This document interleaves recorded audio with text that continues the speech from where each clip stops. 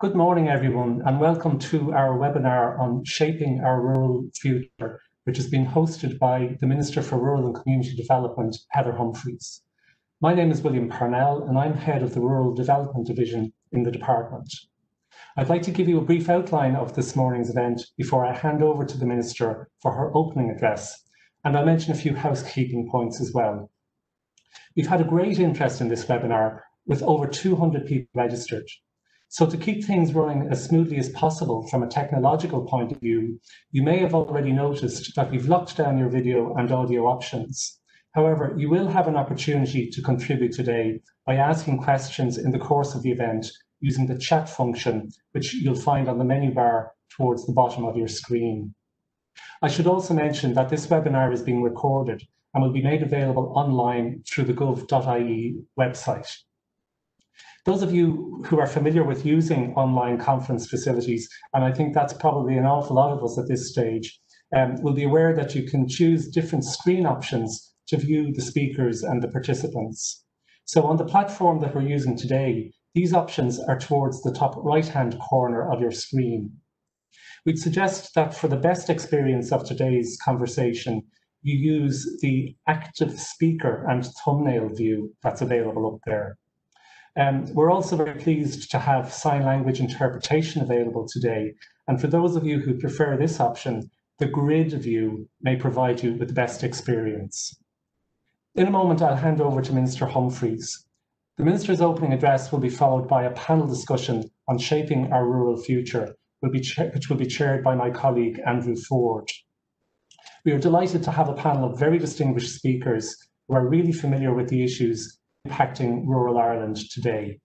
Our panellists are Seamus Boland from Irish Rural Link, Emma Kerins from Chambers Ireland, Pat Dowling from Clare County Council, and Tracy Keogh from Grow Remote. Andrew will introduce the panelists to you more fully at the start of that session. As I've said, there will be an opportunity for you to put questions to the panelists using the chat function. And finally, at the end of that session, I will call on Minister Humphreys to deliver some closing remarks, and we aim to finish up by 12.15 at the latest. So now I'll hand over to Minister Humphrey, Humphreys for her opening address. Um, thank you uh, for that, uh, William, and uh, good morning, everyone. And uh, just to say thank you for uh, joining our webinar. It's great to see such a, a strong level of interest in shaping the future of rural Ireland uh, at this pivotal time, of course, in our country's history. And there's no doubt that the COVID-19 pandemic uh, has changed every aspect of our lives, how we socialise, how we work, how we study, and indeed how we interact with each other. And uh, it's likely that we're going to see some disruption uh, in the way we go about our lives uh, for some time to come. But as we work through COVID 19, uh, um, you know, and look to the future, we really do have an unprecedented opportunity to, to reshape our economy and to reshape our society. We also have a, a, an opportunity uh, to uh, revalue the importance of rural Ireland to our overall national development and to reimagine what rural Ireland means to our economy and to our society. So, notwithstanding the challenges that do lie ahead, uh, there are exciting opportunities emerging uh, for rural Ireland in areas such as the broadband, broadband rollout uh, and new sectors such as the bioeconomy. Uh, we have also seen some really powerful examples over the last six months of how resilient our uh, communities and our businesses are. And we have seen how businesses have adapted to meet the needs of a changed marketplace. And we've seen a step change in our thinking about how and where we work. As someone said to me uh, only recently, work is what you do, it's not where you do it remote working or connected working, as I prefer to call it, has the potential to transform rural Ireland and to enable people to uh, pursue good careers while continuing to live in rural areas. And this is not just an aspiration, we're seeing the evidence in front of our own eyes. Connected working is reducing uh, commutes for many workers. It's providing increased uh, uh, custom for local businesses because people are, are working locally, they're shopping locally, uh, and it's even attracting people to move back uh, to areas that they grew up in. And indeed, uh, I've had a number of conversations with constituents in my own county of Monaghan where they have traditionally been living in Dublin they now see this as an opportunity to move back to Monaghan and, uh, you know, set up home there and maybe commute to Dublin one or two days a week. Uh, so, so it has uh, opened up new opportunities uh, for, for many of us.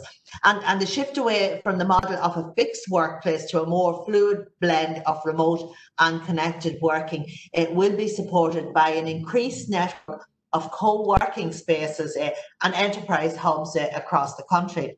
So my department uh, has uh, invested significantly in these hubs over the last number of years. And of course, uh, in my former department, uh, agencies such as Enterprise Ireland and uh, Údarás na Gaeltachta that have also uh, invested in, in these uh, spaces as well.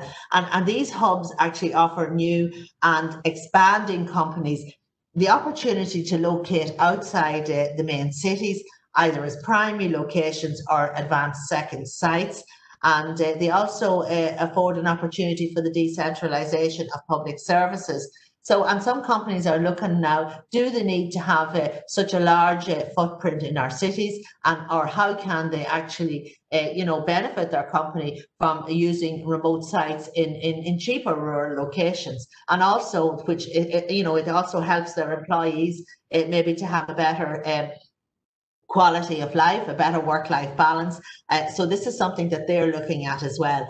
So just to say that uh, the government will continue to invest strategically in remote working hubs in rural Ireland over the coming years to create a cohesive network of facilities across the country. And that's going to be backed up by the rollout uh, of um, high speed broadband through the National Broadband Plan.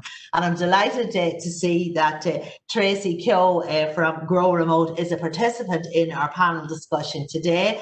And uh, I look forward to hearing what Tracy has to say about the issue of connected working. I've worked with uh, Tracy before in my previous department and in fact, uh, last year uh, we had a, a, specific cabinet meeting that looked at future jobs and, and the world of work in the future. And a, big, a very much a strong part of that was looking at remote working. And, and Tracy, uh, you know, has, has a really, really good insight into how this worked for her and for a growing number of people. So it's good to see you on board uh, today, Tracy. Just to say also that uh, we, uh, we, you know, I've mentioned that we have a, an unprecedented opportunity to revalue the importance uh, of rural Ireland and our overall national development. Uh, as we emerge from COVID-19 crisis and look to the future, my message is very simple. Rural Ireland must be a central part of our national economic and social recovery. Ireland's economy, its heritage and culture is so heavily dependent on the contribution of rural areas. Rural-based businesses from micro enterprises to large multinational companies support hundreds of thousands of jobs in rural areas and contribute significantly to our national uh, prosperity. So my immediate priority for rural Ireland is to develop and publish a new five-year rural development strategy, which will recognise the importance of rural economies and society to our national well-being. It'll build on the action plan for rural development uh, that I had the pleasure of launching uh, way back in uh, 20, uh, I think it was 2016 and and you know this here is also going to take a whole of government approach the policy will address the impact of COVID-19 on rural areas, but it's also going to be forward-looking and ambitious, and it's going to seek to to realise opportunities in rural areas in relation to sectoral diversification, digital connectivity, climate adaptation, and support, of course, our island communities. It will also importantly emphasise the interdependency between uh, rural areas and urban areas, and the policy will seek to build resilience in our rural economies and communities to mitigate against future shocks. As a government, we have a responsibility to ensure that no one is left behind as we re rebuild our economy and our society. And the concept of a just transition applies not just to climate adaptation, but to other areas such as digitalisation, automation, and future ways of working, which we can't uh, yet even imagine. So my department has held a wide range uh, of consultation events in developing the new policy, uh, which some of you will have uh, participated in. It also invited members of the public to contribute their views uh, on the key challenges and opportunities facing rural Ireland uh, through an online survey. So there was a significant response to that survey with over 1,700 uh, submissions. So today's event will make a further important contribution to the policy, which I'm hoping to launch over the coming months. Uh, we really do have an excellent pa panel joining us who will help to tease out some of the key issues affecting rural Ireland today and into the future. And I'm really looking forward uh, to uh, their discussions. So uh, without any further ado, I will hand over to Andrew Ford from my department who will introduce the panelists and chair the session. So thank you. Thank you very much, uh, Minister, and good good morning, everybody. Um, Minister, thanks a lot for those those very important reflections, which I think provide an excellent context for our discussion today and no doubt the panelists will be building on some of those points and, introducing, no doubt, some more. Uh, so we're going to move now quickly on to the panel discussion, which is um, the, the core part of our, our, our morning session today. Um, so I'd like to invite all the panelists, first of all, to turn on your videos and your microphones if you haven't already done so. Um, I'm, it's really my pleasure to introduce our distinguished panelists. Um, first, to, to go to Seamus Boland, who is the Chief Executive Officer of Irish Rural Link. Many of you will know that Irish Rural Link is the national network campaigning for sustainable rural development and directly represents 600 plus community groups with a combined membership of over 25,000 across a range of policy areas. I should also like to acknowledge that Seamus has recently been elected as the new president of the European Economic and Social Council's uh, civil society committee. So that's an excellent accolade for, for an Irishman and for Seamus and indeed Irish Rural Link. So we congratulate you heartily, Seamus, on that. Um, Tracy Keogh has already been introduced by the Minister. She's co-founder of Grow Remote. And Grow Remote is a very exciting and innovative social enterprise, which is helping to make remote working uh, a reality for employers and employees and to be transformative really for rural Ireland. Our third speaker is uh, Emma Kerins, and she's the head of policy and public affairs at Chambers Ireland. Chambers Ireland represents the largest network of businesses in the state, with 40 chambers representing over 8,000 businesses right across the length and breadth of the country. Chambers Ireland seeks to make the places we live better places to work and indeed to do business. And last but not least, uh, Pat Dowling is the Chief Executive of Clare County Council, and Clare County Council has been really a champion of rural development, supporting numerous very innovative, schemes, programs and approaches towards rural development with a view to supporting uh, economic and social development and improving quality of life of, of residents in, in County Clare. You're all really very welcome to our panel discussion this morning and thanks for taking the time to join us. And indeed, thanks to um, all of the attendees for, for, for signing in from throughout the country uh, this morning. Uh, can I ask panelists before we begin just to try, uh, in the interest of time, to be as focused as you possibly can. I know that's difficult. We could spend the day probably speaking about these issues, but uh, I do have the unenviable task of uh, keeping to time. So uh, I appreciate in advance if you can.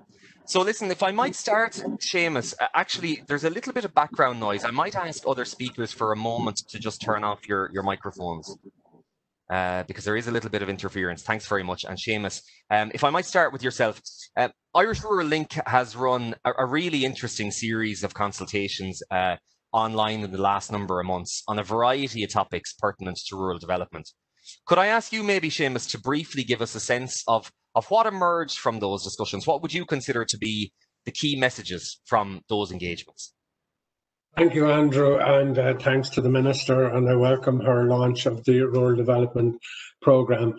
Yes, we have. We've we've held about ten seminars. I suppose at this stage, you'll see them on YouTube if anybody wants to see them. I think the key messages really are. Uh, it started out with a question of how are we in terms of COVID? How are we coping? How are we management? And at that time, we had a very strong group of people, volunteers around the country, which I think should be renewed again, uh, who are working with people who were isolated, people who were cocooning. And I, I, suppose we had a broad range of people. And I say this, Andrew, because it's very careful. It was almost like we had a field study uh, in which we had hundreds of volunteers around the country visiting the households, households and people who were cocooning, and they were learning a great deal. They were learning about people suddenly at home working, in some cases, younger, a lot more younger people. And one of the things, Andrew, they noticed was uh, when they went down a boreen or a rural roadway, there was actually people at the houses, which is not, which was not the case in, in the previous situation. So the first message I, I'll say was that the experience of more people at home working or working from villages or wherever there was a good computer link or internet link was a good experience. And funnily enough, uh, retailers, particularly small shops in local villages, found that their business went up. I suppose the second message uh, we got through that rural Ireland is vibrant, but it does need to look at how we manage social services and access to social services. And I know, Andrew, you did a great program on social enterprise, which you continue to do, and William as well. And really, social enterprises is an opening here, and I think we need to develop that further. And that was another message. I suppose the third message I would say from from the seminars so far was that. To quote uh, Leo Varadkar uh, when he was Taoiseach, is this is actually an opportunity for rural Ireland. Yes, let's not play it, let's not get overcome or anything else, because must remember people who have died and people who are suffering. And we must remember the dangers of COVID and we must remember that we do have to be very careful still. So I, when I say opportunity, I mean it in the context of understanding that. And the opportunity is we are now really being forced to change our behavior. We're being forced to change everything uh, literally in revolutionary style. Uh, and certainly if there ever was a need for rural broadband, I think that argument is well and truly won at this stage. And certainly in Irish Rural Link, we don't want to hear any more naysayers on that. So I suppose those are the messages in terms, in a brief sense, of rural Ireland looking at this, A, as an opportunity, but B, seeing it as a place where we've got to develop employment opportunities in the regions, and we can do so using good technology. That's that's very uh, helpful, Seamus, and very interesting. Could I ask you just to build on you? You focused a lot there on the on the community call, the community response. I mean, what's your perception about how we can build on that? How do we keep that uh, community spirit going, Seamus? Well, we, we we we linked into it along the wheel. We had something over 35 community champions. These are people across a wide spectrum like GAA players. We had Michael Duignan of Offaly, Anthony Daly. We had so many more people who actually, and their job was to use the existing volunteer structures, whether it's the existing sporting, social, cultural organizations.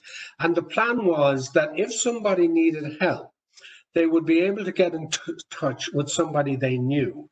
So, for example, the coordinator simply said, who is living on Ballymagahan, we make up village, uh, who knows that area very well, and would you volunteer to bring uh, groceries, supplies, make sure, you know, if there's something need fixing, that that can be organised in the house.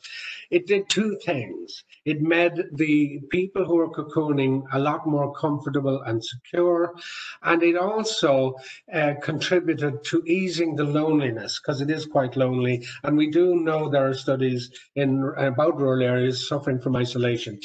This program was suspended at the end of June, and we really would be asking the minister, I suppose, if she would make sure that this continues on. At the moment, we're under serious pressure to, re to restart it again. But really, what I'm saying here is that this created a great atmosphere for people who are cocooning. And I'm afraid, Andrew, with the figures at the moment, more and more older people are rightly taking precautions and going back to that space. So we would like to see that continue. But it really was a great opportunity to understand life for people who are uh, in living in isolation. Thanks, Seamus.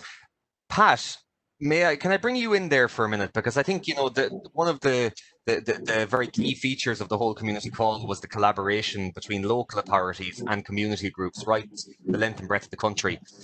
Could could you share your perspectives on what that collaboration was like, how it worked, and maybe how it could be built upon? Sure, Andrew. Uh, first of all, to thank uh, the minister and indeed William Parnell for convening this. I think it's very good.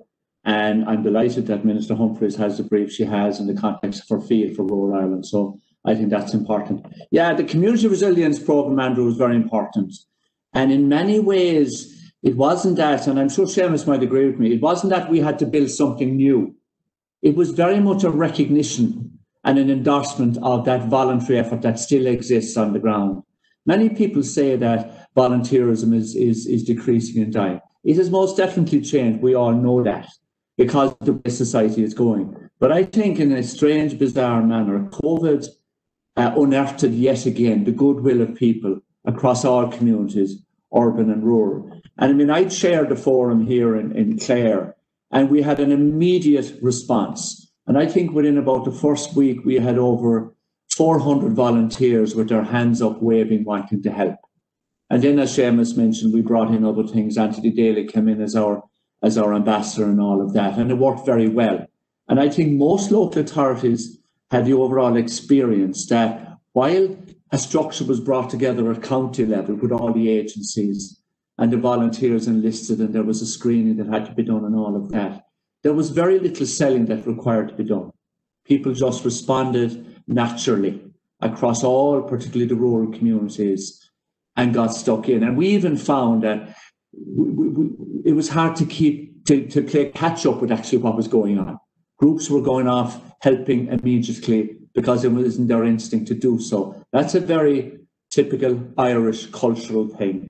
Uh, and I think in a strange way, COVID has helped again to, to restate that local volunteers helping each other, uh, celebrating the need to help vulnerable people, whether they're elderly in our community is at the heart of Irish culture. And that's what this programme has done. And I think, whatever about what happens into the future, I think it does an onus on all of us to keep that structure going, formally or informally, to make sure that all these individuals who help, and it wasn't just the GAA clubs, it wasn't the ICA groups, it wasn't whatever, it was everybody across all aspects of rural life that helped.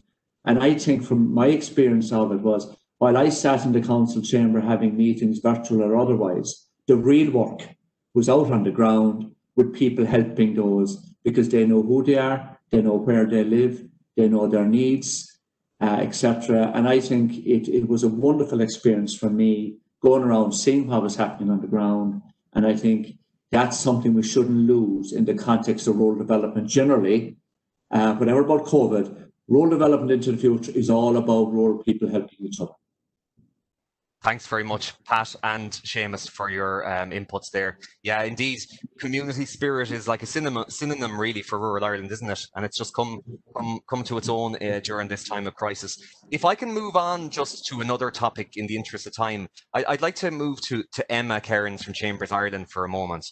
Um, Emma, rural businesses, in fact, all businesses have been severely and continue to be severely affected by COVID. Mm-hmm. And obviously, it's a very live issue.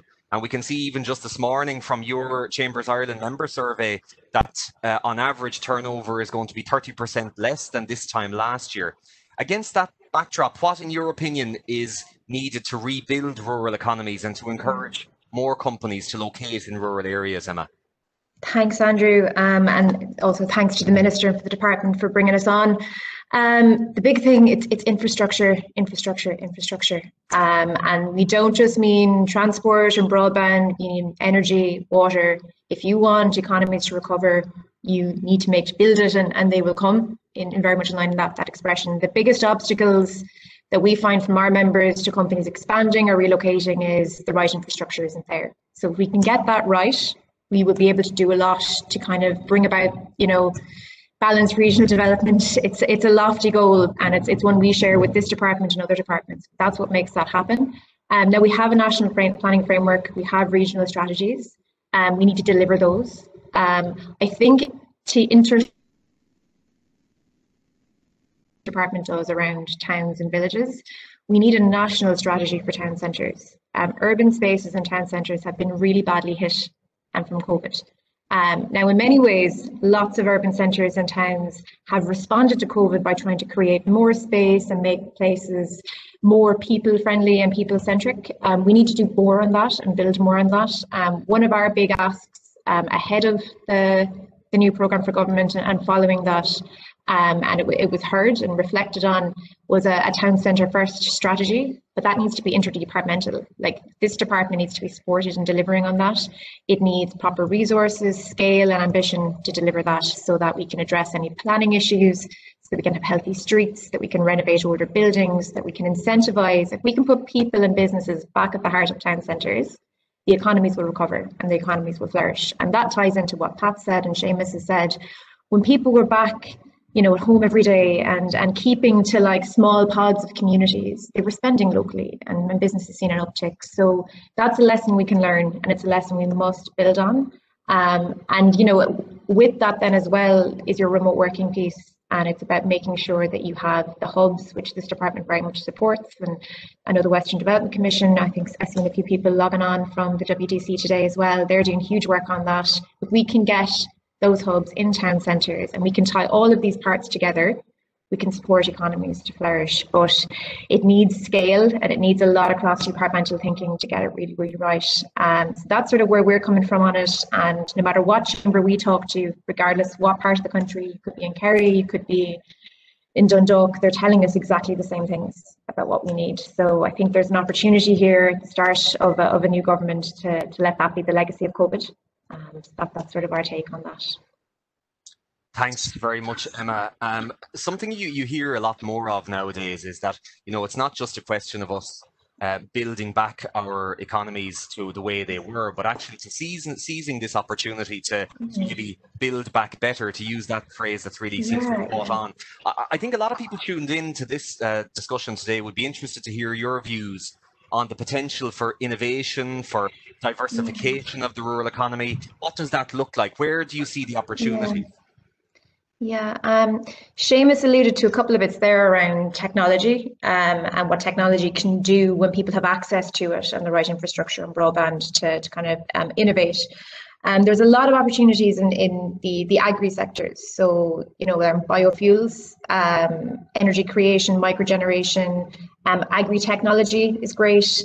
Um, if you can get the broadband infrastructure, you can also make sure that rural Ireland is also home to a very, very vibrant, innovative tech cluster as well because you know you don't need big towns necessarily to to uh, to work on those kinds of projects or set up those kinds of companies.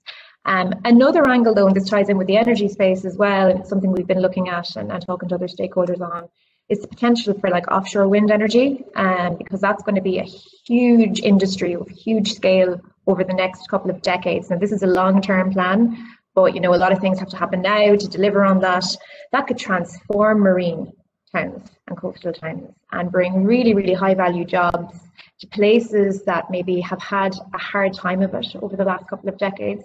I mean, there's huge potential now in Arklow with, with some of the plans that are there off, off the eastern coast. Um, there could be huge potential in the, the southwest and, and the western coast in, in the next 20 years on that. Um, and that bringing with that is, is investment, it's skills, it's, it's clustered industries that go with that as well. So there's an awful lot of things aligning at the moment that could deliver high value jobs to rural economies and, and transform parts of the country that maybe have struggled. Um, but at the root of that, it's technology, it's investment, and it's delivering an infrastructure. When you do those things, you know, the jobs and the money and the investment follows. Thanks. Um, sure the, uh, actually, could I just mute your microphone for a second, Emma? There's a lot of feedback there. Um, I'm sure the eagle eye uh, observers will have noticed the SDG logo over your left shoulder. Um, and, you know, I guess that is going to be something that's going to have to feature in all of our future work around sustainability and ensuring those issues are, are addressed. If I could just turn to Tracy um, and bring Tracy in, because there was a number of issues there that Emma raised around technology and innovation and opportunity. And of course, both Seamus and Pat have also referred directly to the issue of uh, remote work. Um, remote working, Tracy, it's not something just kind of progressive and innovative. I mean, it's been thrust upon us um, and we're all muddling through as best we can. We'd probably prefer to have this uh, event face to face, but you know this is where we are. Um, Grow Remote is a social enterprise right at the heart of that revolution, if, if if you want to put it that way. So I wanted to ask you, I mean, how do you see remote working impacting on rural areas, and and what can be done by the state, by communities, by local authorities to to really fully realise its potential? A Andrew. Sorry, just say it's actually very exciting to hear all of us on kind of speaking in our own separately but together. It's I think it's very rare because we're always kind of you have to paddle your own canoe, you have to do the work on the ground. You don't always get time to link in with other groups. It's just it's really I can feel the energy. Um, but Andrew, sorry, um, and I'm sorry, back to just Emma's point around town centres. Like I, I couldn't agree more, Emma. And I know Ken Tobin's doing lots of work in that, but that's so crucially important for everything.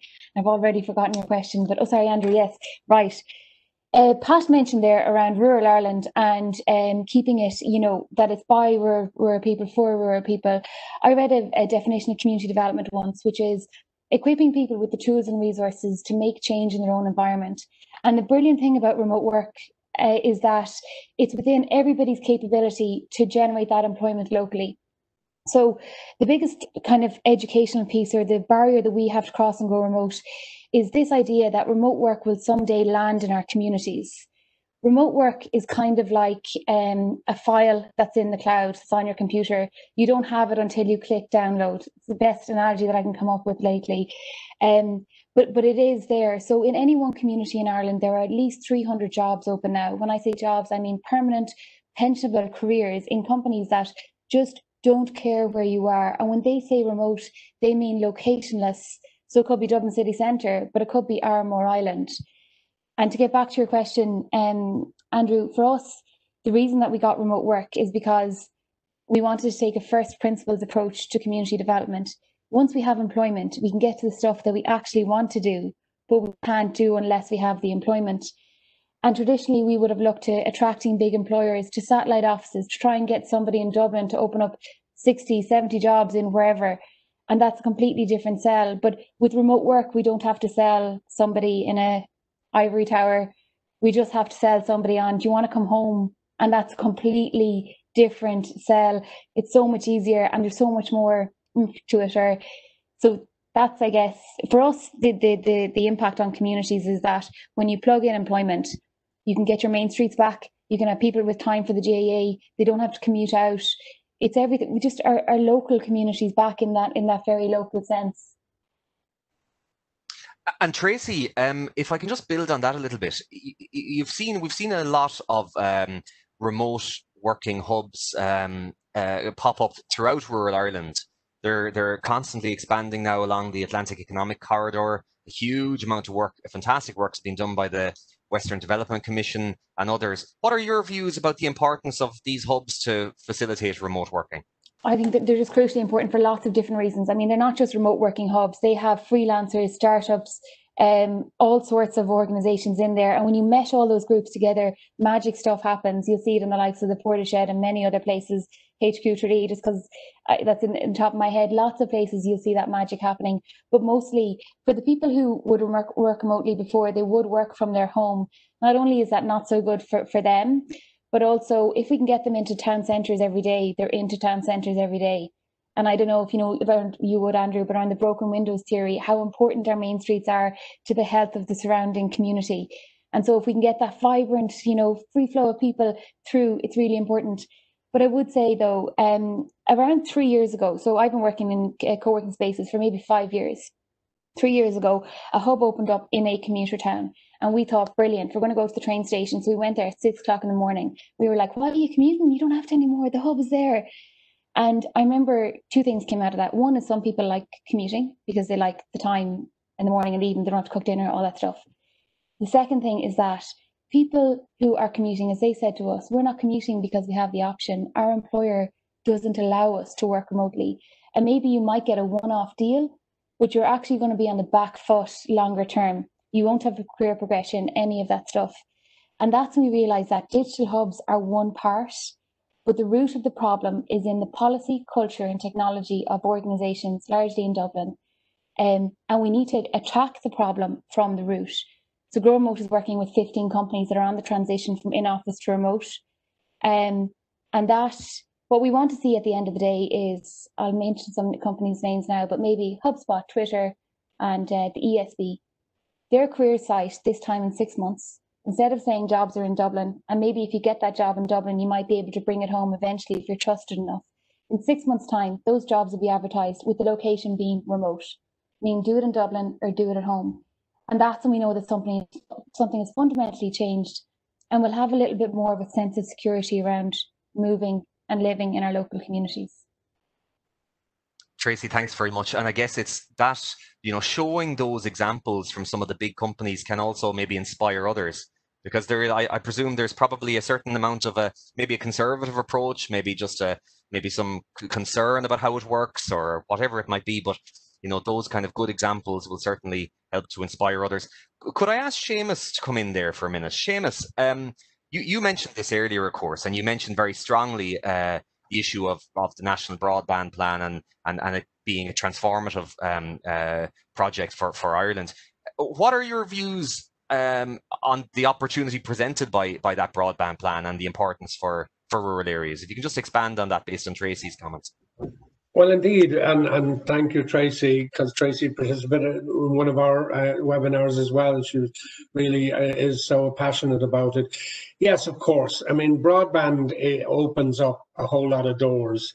The employment door, which Tracy has just referred to, you know, we can't say enough about that. And I suppose I would add to that that in terms of companies, whether it's Google or Manhattan Public, whatever it is, they could, if they're, they're encouraged, uh, come bring jobs back to Ireland. So I would be saying that perhaps the IDA and Enterprise Ireland might might get, um, I say, an extension in terms of not just bringing foreign direct investment in physical terms, but in in digital terms as well. So I think that's an opportunity. I think what broadband also does, it improves enormously another problem we have on our tracks, uh, care in the homes. With really good technology, you can now have people linked to various uh, medical centres, doctors, even hospitals in terms of monitoring their situation, monitoring their health. And this would this would enormously change the whole, um, I suppose, landscape in terms of how we care for people in the homes. And I think, again, you know, this government uh, and previous government actually are saying that we now have to relook at how we care for people in the homes. And I think digital uh, opportunities really are important. So it's not just the creation of employment, which is extremely useful, but it's also the creation of uh, the provision of other services, social services that are really important. I suppose that, Andrew, I would see as a major piece of work still to be done. Thanks a lot, Seamus. It's really about rethinking almost how we live our lives and how we develop, how we deliver services. Um, Pat, turning to yourself, if I may, uh, building on all of those questions, I'm sure you have a lot of opinions on everything that's been said, but but I want to specifically talk to you about the role of, of local authorities who, who really are right at the coal face and uh, you know uh, uh, really front and centre in terms of economic and social and cultural development of rural areas. And Clare County Council, as I said at the outset, has taken numerous really innovative initiatives, uh, not least the creation of the rural department in your county council. And I wondered if you could share your views on what local authorities can do further to support economic and social well-being in rural areas. Uh, sh- sure, Andrew. Uh, happy to do so. And I mean, I think you're absolutely right. Uh, local governments, uh, like it or load it, but it is the agency that is closest to the citizen. Uh, and when I hear Seamus and Tracy and Emma talk about things that we need to do, a lot of those things are often enabled by the local authority. around infrastructure and services, etc. So very quickly, uh, when, when I started in Clare some years back, uh, it was clear to me at the moment that there needed to be a targeted focus on, on our rural economy, on, on rural development. Uh, 50% of the population of Clare live in countryside dwellings. So it was clear to me as a rural county that while we have the two towns of Ennis and Shannon, and a lot is going on there, the, the vast majority of people in Clare are, are rural dwellers. And, and therefore there was a particular need to focus on that.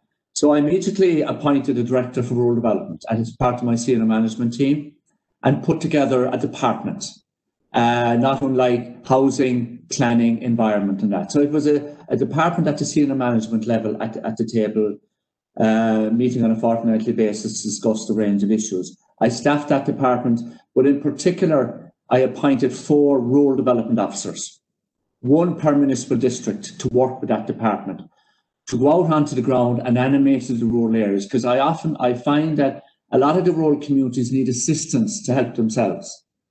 Uh, you know, the capability isn't always there. It, it, it is in many cases, so they were appointed. Further to that, then I established a rural uh, forum for the county. Uh, there are about over 35 different agencies across all the key stakeholders in County Clare, and they meet on a regular basis. And that forum, with the new directed, uh, produced a rural development strategy, which was launched by Minister Humphrey's predecessor, Michael Ring, back a couple of years ago. So it's relatively new. So what I've simply done, Andrew, is I've institutionalised within Clare County Council the need to focus and to positively discriminate in favour of rural County Clare. Now, the strategy came up with a number of issues uh, around jobs creation, multi-service centres, cooperating towns, uh, partnering parishes, uh, e-working obviously on the innovation hubs, incubation units and all that. So that's what we've done. And people mentioned hubs, and if I could just cover that, we now have six hubs across the county. We will have six more before the end of the year. Uh, and more importantly, what's happening is the experience has shown through my rural development section that now there's a demand coming forward. So we're opening a hub in Cross School that closed two years ago. So we're reopening the school. We're opening a hub in the community centre in Flagmount, run by the community centre but under our DigiClare brand. And we're also opening hubs upstairs over credit unions because they've come to us. So what we never thought would happen is that other groups have come on board and while we're running them directly, a lot of them we're doing in partnership with existing community groups, helping, as I said, to turn the lights back on to a school that would probably not reopen. So that's one of the, the outcomes of it, as well as a lot of others. So I think that's what we've done. Not every local authority is doing that, but many are adopting a similar approach. And as we go forward, and I think the Minister knows this, and while we may have a new national rural strategy, we need the apparatus and the architecture locally to make sure we can deliver that.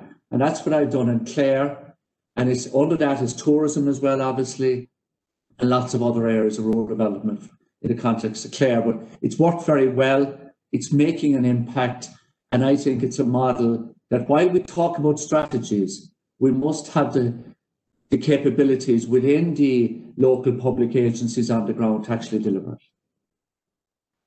Many thanks, Pat. Can, can I bring you back to a, a, point that was very strongly made by Emma and then echoed as well by Tracy and, and indeed Seamus around towns and villages? Um, uh, rural towns and villages are obviously at the heart of rural communities. Um, but how do we ensure, Pat, that they are vibrant and lived in places? Yeah, I, I, mean, this is the key challenge for us. And I mean, if you look at any census data, the scale of, there's at least whatever it is, I'd have to check the data, but Towns and villages comprise about a third of the population of Ireland. Another third are the large cities in that. So there's a huge issue. And from the local authority perspective, uh, obviously there's issues around jobs, there's issues around how we deal with communities in developing alternative environmental projects, etc. But there are key infrastructural things that are key enablers. And I think the Minister knows this, the whole area of water and wastewater treatment is a huge problem in rural communities. I have about 56 wastewater schemes I need to put into County Clare today if I'm to attract people to come and live there and work there and go to school there, etc. So that's a huge piece of infrastructure that Irish Water have in their responsibility. I'm concerned that it won't happen in time to save rural communities. And I think uh, the minister, if she's listening, you know, I, we'd be keen to make on ourselves in a way to work in partnership to deliver those schemes across those communities, because without that, it's very difficult for people to apply for planning permission to live in rural communities, to come and work there, etc., uh, etc. Et the, the other part of, of um, those rural towns and villages are for multi-service delivery. So, for example, all the agencies are working separately. We're collaborating and collaborating very well. But I think we need multi-service uh, locations within our communities. Uh, we have one example in Kilmaley, um, uh, not far from Ennis, where uh, there's an independent living scheme for elderly people built by the local community, supported by government and the council, where those local people also access medical services because a doctor's clinic is held on a regular basis and other additional services as well. Seamus mentioned this in the context of the needs of the elderly members of our population. So I think the services need to come together within these rural areas for economies of scale. And I think there's a lot to be gained from that. The jobs one is the big one, and we've mentioned remote working, but it's more than just the hubs that we're doing. We're at the moment identifying key strategic sites in West Clare that we can attract FDI. Tracy mentioned it. Uh, so there are a number of locations. So if companies are interested in coming to the west, the rural parts of this country, the local authority should facilitate them getting there and having facilities ready for them to occupy. I think there are particular opportunities uh, that we could help to fund as well. That the new rural development strategy can work with all of us to engage with FDIs or smaller companies that some of their workers can operate and live in rural communities. Because it is a lattice of services, it's no one thing. For people to come and work and live, they must have access to education, infrastructure, connectivity, and basic infrastructural services. So I think we need to look at those, and I think we might do, we should maybe do demonstration projects. We'd I'd be happy to put my hand up to do one and pick a particular town or village to show what can be achieved and do a lattice of those across the western seaboard and show within a matter of three years what we can achieve together as agencies for people to come and live and work. But it's a romantic idea often if we think they can just come and plant themselves in a rural area unless the infrastructure and services are there. And therein lies some of our particular challenges. Pat, many thanks. A lot of very interesting issues there have come up. And actually, um, it leads me into questions that we've received. I should say, first of all, uh, you're, you're getting, a, you have a lot of fans out there, all of you, because there's a lot of positive comments coming in about what you're saying around community call and the centrality of communities, the importance of remote working, um, uh, the opportunities uh, presented by social enterprise and cooperative model, uh, and the need for a whole of government approach. They're just some of the positive comments that have come into us. But um, it, uh, it, just leads me to one of the questions that was asked was around resilience. Um, and Emma, if I could just bring you in there, because I think it would fit nicely with what Pat was discussing. Um, like the panel has discussed, uh, uh, you know, referred to the one way or the other, the, the economic challenges that we're facing with right now. And there are more coming down the tracks as well. But how can rural Ireland, and this is the question, how can rural Ireland ensure that it is resilient enough to deal with future challenges? There's a lot to say on that in terms of what it can do. Um, what needs to be done to support that, um, I think, is, it ties in a little bit with what Pat and Tracy and Seamus have been saying is around remote working and being able to properly enable that choice. So this isn't rural versus urban. And you know, people deciding to flee the towns and cities because the COVID's there and we need to actually live somewhere far away from everyone.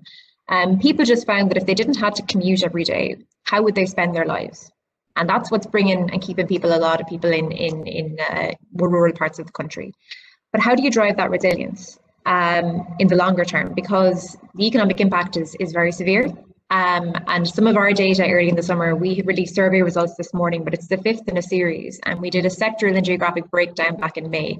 And the atlantic economic corridor is going to be the worst hit because tourism, hospitality, and, and so many of the events-based industries um, are the ones in the most trouble, and they're predominantly clustered in those tourist spots. So you need to diversify the industry that's there. So how do you build resilience? Um, it's not a choice that people in rural Ireland are going to have to make. It's a choice that's going to have to be enabled. So it's about thinking bigger, being more ambitious for the kinds of industries um, and technologies that we can use in rural Ireland that will actually enable growth. Um, and it's about investing and spending money and delivering. We have a fantastic plan in the NPF and the NDP in terms of what Ireland can look like in a few decades. We need to get that done. Um, and we need to get public support for how we deliver that. Um, and we just need to make sure that anything that doesn't enable towns to do what people in towns want them to do, which is building houses and setting up businesses, things like lack of wastewater infrastructure, as Pat says. Like I was nodding so hard when he was talking there because we've heard it everywhere that people want to build and people want to invest, but they can't because. So rural Ireland isn't going to be resilient and isn't going to be part of the recovery unless they're supported and enabled to be part of the recovery. And part of that's money, but also part of that is taking away the planning obstacles, taking away like I mean on, on remote working, like Tracy's been like hubs won't solve everything in and of themselves. You know, there was a consultation with the Taoiseach um, earlier in the summer around what a remote working strategy needs to look like you need to empower employers to just deliver on it as well as being able to provide the infrastructure that's there. If all of that's put in place, rural Ireland has a bright future because so much of what has driven so much of the the investment or, or just the magnet to the east where people had to commute every day and there was long commutes attached to that was because people felt they had no choice when you give people choices they can decide if they really want to live in a city. Like I'm from rural Ireland, but I've always lived in a city for the past 10 years. Like I like cities. and I love South Galway as well, but I've made a choice. Imagine what people could do if they their choices were real choices and they weren't just pushed and pulled in a different direction. Um, and that's where I think the resilience piece is going to be supported and activated. Like I, I, I just think there's so many opportunities in the next decade to kind of correct the wrongs of maybe the last few decades. Um, but we just have to put the right pieces in place to do that. Thanks, Matt. And as you're speaking, I was just thinking back to what the minister said said at the outset that you know Ireland's national economic well-being is dependent really on you know leaving no one behind and making sure that rural Ireland also uh, not just survives but thrives. Um, Seamus Boland, can I bring you back in here? There's a question on climate um, and climate action. It would be remiss of us to not discuss this uh, uh, on such a platform. Um, and the question is this: rural communities sometimes feel that they are disadvantaged in terms of measures around climate change. What are, what are the panel's thoughts about how we can ensure transition to a low carbon economy in a way that ensures it's fair to rural communities? Yes, that is another subject for a webinar, Andrew. But let's let's let's deal with some issues. And before I go, I do want to talk about care and Meals and Wheels because that goes back to the social enterprise. But just on climate, Irish Link have been certainly following and been very active in this area. We were very active in the peatlands uh, directive and managing that. We have a wetlands forum whose job it is to bring communities into the space where they actually look at the conservation of the environment, not just as something they have to do or that the EU tells them to do, but actually something that could be an asset in their community. And if you look at the community forums, and you can see that on our website, you will notice that there are 20 actual active sites around the country, Abbeyleix Bog, Cloughjordan and other places, Clarabog. These are sites whereby the people don't see that site anymore as a negative, but as a positive. And it's the same way whether it's heating uh, the house or whether it's dealing with carbon tax. Look, we've had a position on carbon tax for the last few years, which has been uh, asking the question, why are we forcing people to pay a carbon tax when in fact um, they have no other choice but to pay it? And it does affect low income households. It also creates a sour note for rural people who, on the one hand, know there's climate change. They are not climate deniers. In fact, Andrew, we had 350 people in the good old days when you squashed them into a room in the Hodson Bay Hotel of a Friday in July, a very sunny July two years ago, wanting to know more about what they have to do in their homes to make sure their homes are more climate compliant. So just transition is a word, it's a phrase. Uh, there's a big program in the Midlands, particularly with the whole uh, situation in Bord But just transition has to be the way forward. And just on just on that, you know, there are jobs being lost as a result of the change. So we have to make sure that jobs can be replaced. We know climate change is there but we are saying strongly in Irish Rural Link go back down to the communities. I know where you have been in your consultation process, your department, and start asking communities what would what do you think is the best thing? Remember, our rural communities were very good at resolving electricity. They they got down to bases and got that working. They were very good at connecting water supply. They resolved that by local water schemes.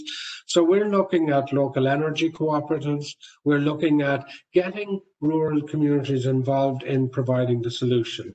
Um, yes, it's a big problem for communities because, you know, there is suspicion. And I suppose if you look at the carbon tax, it's kind of pay it, it's pinch your nose and pay it, uh, but you don't, you're not really involved and you don't see the benefit. You just know you have to pay more.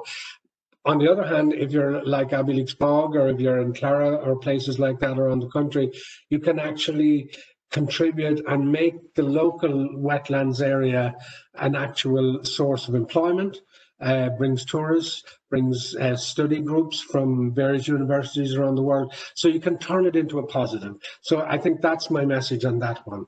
Thanks, uh, thanks, Seamus. That's a very, very helpful, positive message to, to end that one on. I have only time for a really short question, but there's quite a few comments coming in around uh, social enterprise and cooperatives. And Seamus, you just mentioned uh, energy cooperatives. Tracy, can I can I ask you the final question, just really briefly? Um, like Grow Remote, obviously, is an award-winning uh, social enterprise. The question that's come come in is, um, do you think that the social enterprise model has potential for growth in rural areas? co-ops everything everything to do with that like fundamentally because it empowers people and it lets us solve, solve our own problems in the way that we want to do it Absolutely, it does. I think, and it's it's also it's just a great thing to be able to do as a as as a person who gets the opportunity to do it. I love it. But just before I go, so yes, on social enterprise, I love all the work you're doing on it, and uh, the more we can do, the better. But just before I go as well, Andrew, just I sometimes I hate kind of talking about things around, about about remote work in rural Ireland as though someone should do it sometime. Um, Grow a, has a bias for action. On our website, you'll find training for people who are unemployed, specifically from tourism, retail, hospitality, anything. We can take the transferable skills and get you uh, employed in, in these companies. We've got training for people managers. If you contact us directly, we'll have companies make the transition, and we help uh, build communities locally. Whatever you want, basically, whatever. If you've got a problem, we probably find a solution. So anything to do with remote working on our website, it's all there. Um, oh, and uh, sorry, facility for people to move from uh, city centres to rural and regional communities. We've got that too.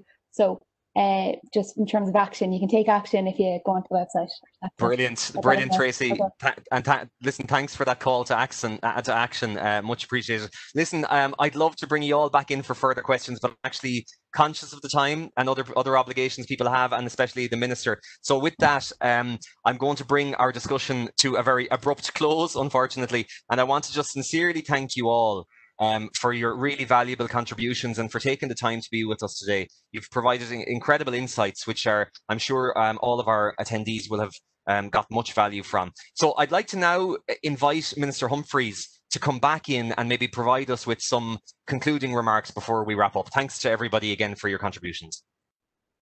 Uh, uh, thank you, uh, Andrew. And uh, I just want to say thank you to everybody who has uh, participated in the event. And I particularly want to thank the four panelists, uh, Seamus, Pat, Tracy and Emma for their contributions. And I also want to take this opportunity to congratulate Seamus uh, on uh, becoming uh, the president uh, of uh, the Civil Society Committee, which of course is part of the European and Economic and Social Council. And just to say that, you know, Seamus brings an absolute wealth of experience uh, to this role. While each of the speakers, you know, have their own perspectives on the conversation, clear that we all one very clear uh, common purpose in that we all want to uh, support our rural communities, we want to support our rural businesses, and we want to support our rural economies. And my department looks forward to, to work, continuing uh, to work with each of you and your organisations as we implement uh, our new policy. I want to thank Andrew for his chairing of the discussions uh, and to those of you who submitted questions uh, to the panelists.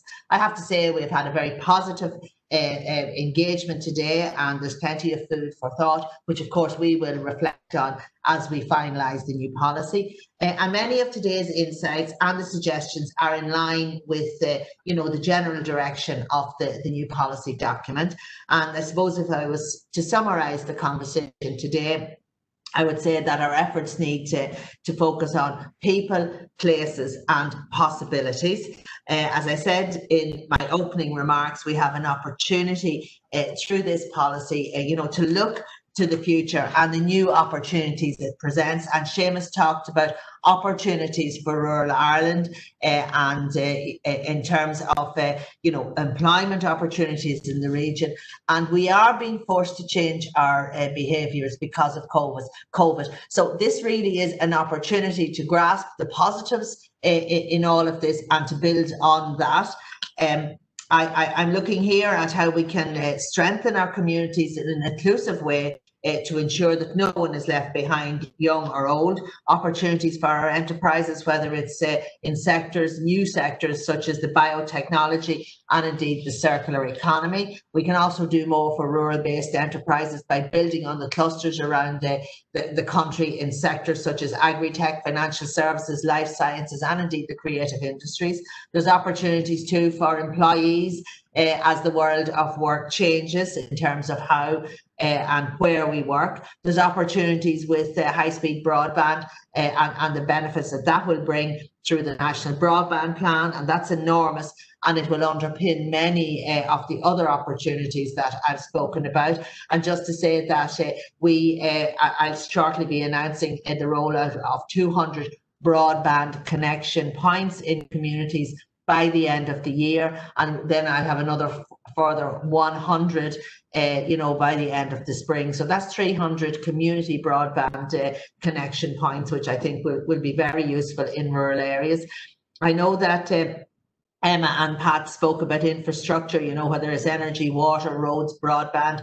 Uh, we are going to carry out a review of the National Development Plan. And of course, I will certainly have a very strong input into that in terms of uh, making sure that these important uh, projects and important infrastructure projects go ahead in, in, in, in rural Ireland because we need those. In terms of town centres, uh, you know that it, it, certainly is a cross-departmental uh, issue. I'm, I'm going to work very closely, obviously, with Minister Damien English, uh, who's involved in this town centre first policy. So it's putting people at the heart of the town, and by bringing jobs back to rural towns and into in there through, I think uh, connected working, uh, people will can work in their local town or village, and also, you know, there can be that blend between rural and urban, where maybe to go to the city for a few days. We have spent uh, about 6.1 million already announced on the special town and village uh, initiative to make our towns more uh, more COVID friendly. Uh, so there's been a lot of work done in there. Uh, in, uh, and of course, we all know that, um, you know, when you live in rural Ireland, there's nothing you need more than your neighbour. And when your neighbour needs help, well, we're all happy to drop everything and go and help them. And the call goes out. And I just want to compliment the local authorities in terms of what they did around the community call. It, it has been absolutely fantastic uh, and they mobilised uh, communities uh, right across the country and they were able to do the coordination and, and, and they were the central point of organisation. So I really want to say a huge thank you to every local authority and all of the coordinators and the workers because the work that you did was so important and I, I, I, want to thank you for that. Uh, the local authorities, of course, are, are continue to play a, a, hugely important role in the development uh, of rural Ireland and uh, I, compliment Pat on the initiatives in Clare. I had the pleasure of visiting Clare uh, on a number of occasions and I know I'm well aware of the good work that's that's going on there. And of course, I, will have to say about my own county in Monaghan, and, and what they're doing there. There's a dedicated director of services for economic development. That has brought huge benefits in terms of working together uh, across a number of different players. We have the digital hubs, we have a new BioConnect centre, and that again is looking at the jobs of the future and making sure that they uh, that we capitalise on those opportunities in rural areas. And then, of course, we have a new data innovation data innovation centre, and that's looking at art artificial intelligence and how how businesses can use artificial intelligence to their advantage. Again, these, we're looking here at jobs for the future, and that's what we have to do in rural Ireland. We have to position ourselves uh, of, of, what's and, and, and take advantage uh, of what's uh, coming down the road. And of course, we know there's no one size fits all approach when we talk about rural Ireland. It's it's I've always been of the opinion it's the bottom up approach. It's consulting with communities. It's finding out what you need, what you uh, what you want to do in your community and that can be done so well through the facilitation of the local authorities and then it's about putting in applications to enable uh, uh, people in communities and local authorities to deliver those projects that's going to make uh, the difference uh, can I just say that uh, there, there's many different strengths in different places and the different needs. Some rural areas are close to large urban centres and others are remote. remote. And the offshore islands have their own unique uh, needs because of their peripheral nature. And indeed, I was delighted. Last year, actually, I went to uh, to uh, uh, Clare Island. And uh, this year I took the opportunity when I was in Donegal on staycation, I might add, uh, to visit uh, Inish, uh, or to, to visit to visit uh, Arranmore and just to see firsthand, you know, how difficult it is to live on an island, but also the hugely unique contribution the uh, islanders make to our culture. So again, I'm delighted that uh, that the, the islands now come under my department. Can I just say that our new policy will recognise the diversity and place a focus on supporting a place-based approach to development in, in a very holistic way. But there's also need to re we also do need to reframe the narrative around the rural urban divide. I don't want to hear that word mentioned. There is no rural urban divide. It should be working together, building on our strengths and, and strong regions and rural communities feeding into the cities and, and, and vice versa. So our, our national recovery requires a holistic approach to recovery in both urban and rural areas. So with a country of our size uh, and, and the way uh, our, you know, the way our economy works, with a strong dependence on sectors such as agri-food and tourism, uh, the separation of urban and rural in our language is no longer helpful. Uh, the two are interdependent. So before I finish, I, I want to re-emphasize the, the transformative effect that remote working can have on rural areas and uh, uh, you know, remote connected working was a concept last year. It has now become a reality. And this is our opportunity to position ourselves to grasp this, run with it, and, and, and you know, use it to our advantage right across rural Ireland because it can improve the quality of life uh, uh, for people in rural areas uh, by bringing new business into and people bring business and that's it. If, if you have more people shopping in the town, there's a huge spin-off effect. I believe it'll breathe new life into our rural uh, towns and villages and uh, people uh, won't be forced to commute uh, to large urban centres every day and, and you know they can work locally. It can help us to uh, retain our young people who can study or pursue good careers while continuing to live in their local areas. And uh, every one of us understand the importance of keeping young people uh, in, in, in, in their local areas and how they contribute to the vibrancy and, and, and the, the, the resilience of uh, community. It's also good for our environment because uh, obviously uh, you're not getting into your car, you're not spending hours on the road, so it's good. It's good in that perspective as well. And uh, as I said, there's been a lot of discussion about remote working. We just need to seize this uh, opportunity. Um, in terms of, uh, and Tracy mentioned it there, and we do need to attract and make it attractive for for uh, you know investors to come to the rural areas. And I, I, think that the work that's been done by the Western Development Commission is really going to be uh, you know very very useful in terms of mapping out uh, you know where our hubs are and what we have to offer. And it's about selling this uh, that is good for everybody uh, and that's that's obviously the way we have to go forward. Um, the government will bring, I know, a remote uh, working policy, which will provide a framework for a national approach uh, to, to remote working. So uh, I just want to say thank you uh, again for joining us today. I have to say I found this very interesting, very informative. Uh, I'm delighted to be back in this uh, brief of rural and community development. It's something that's very close to my heart and I look forward to working with you all. And I want to say once again a thank you to Seamus Boland, Pat Dowling, Emma Kerins and Tracy Keogh for their time and their contributions to our discussions. I want to thank the staff in my department. I want to thank um, um, everybody who has helped make this happen today. And uh, you know, we've taken your feedback and we've taken your your your views, and we will feed them in into the rural development policy. And we've had a lot of close engagement already, but that will continue. Uh, and I look forward uh, very shortly to meeting all the the, the local authority. Um, uh, city and county managers or CEOs or CEs as you're now known and because uh, I, I will be working very closely uh, with you uh, in my, uh, you know, in, the time ahead, because I do feel that local authorities have a hugely, hugely important role in helping us in this department uh, to, to uh, you know, to, to make a difference and to roll out and many, many different initiatives in uh, in rural Ireland. So, uh, uh, you know, the policy will be, um, I'm hoping to get it launched now in the coming months. So we'll continue to work on it and uh, I hope to meet you all soon in person. Thank you very much, go raibh míle maith agaibh.